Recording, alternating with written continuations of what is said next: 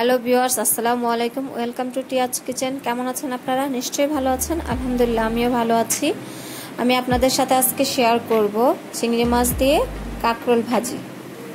Please আমার চ্যানেলটি subscribe করুন এবং পাশে থাকা বেল বাটনটি অবশ্যই ক্লিক করুন। একটা হাঁড়িতে পানি বসিয়ে দিয়েছিলাম। পানিগুলো ফুটে উঠেছে। আর আমি গোল গোল করে কেটে রেখেছিলাম কাঁকরোলগুলো। কাঁকরোলগুলো সব আমি এখানে দিয়ে দিলাম। কাঁকরোলগুলো একটু মোটা মোটা করে কেটেছি আর কাঁকরোলগুলো কাটার পর বিচি ছাড়িয়ে নিয়েছি। কাঁকরোলগুলো আমার ফুটানো শেষ। এখন আমি পানি ঝরিয়ে নিয়েছি আর অন্য একটা কড়াইতে তেল দিয়ে দিলাম। দুই টেবিল চামচ পরিমাণ। তেলটা গরম হয়ে গেলে এখানে আমি পেঁয়াজের কুচি দিয়ে দিব। পেঁয়াজ আমি কুচি করে রেখেছি হাফ কাপ পরিমাণ। পেঁয়াজ দিয়ে দিলাম। আর চার থেকে পাঁচটা কাঁচামরিচ আমি ফালি করে নিয়েছি। কাঁচামরিচের ফালিগুলো সব দিয়ে দিলাম। হাফ চা চামচ লবণ দিয়ে দিলাম। লাল মরিচের গুঁড়া দিয়ে দিব খুব সামান্য পরিমাণ। যেহেতু কাঁকরোলটা আমি চিংড়ি মাছ দিয়ে রান্না করব এর জন্য আমি একটু মরিচ দিয়েছি। আপনারা না দিলেও পারেন। হলুদ দিয়ে দিলাম হাফ চা চামচ। আর রসুন বাটা দিয়ে দিলাম হাফ চা চামচ। এখন আমি পেঁয়াজের সাথে সব মশলাগুলো তেলের উপরে কিছুক্ষণ নেড়ে চেড়ে কষিয়ে নেব।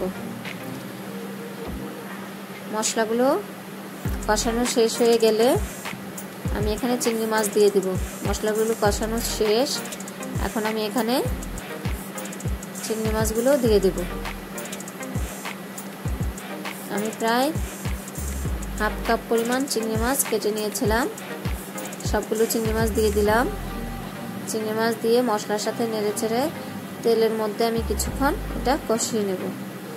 আমি কোনো পানি ব্যবহার করব না। যেহেতু আমি কাঁকরোলটা আগে থেকেই বয়েল করে নিয়েছি। আর বয়েল করে নেওয়ার আরেকটা কারণ সেটা হচ্ছে কাঁকরোলটা বয়েল করে নিলে কালার নষ্ট হয় না, দেখতে সুন্দর লাগে। আর খুব অল্প সময়ে রান্না হয়ে যায়। কাঁকরোলগুলো সব আমি দিয়ে দিলাম। আর আস্তে আস্তে আস্তে নেড়ে চেড়ে এটা রান্না করতে হবে। বেশি নাড়াচাড়া করলে কাঁকড়গুলো ভেঙে যাবে। যেহেতু এটা আগে থেকে হাফ বয়েল করা আছে, মশলার সাথে কাঁকড়গুলো সব মিশে গিয়েছে, এখন আমি এটা দুই থেকে তিন মিনিটের জন্য ঢেকে দেব। কিছুক্ষণ পর ঢাকনাটা তুলে নেব।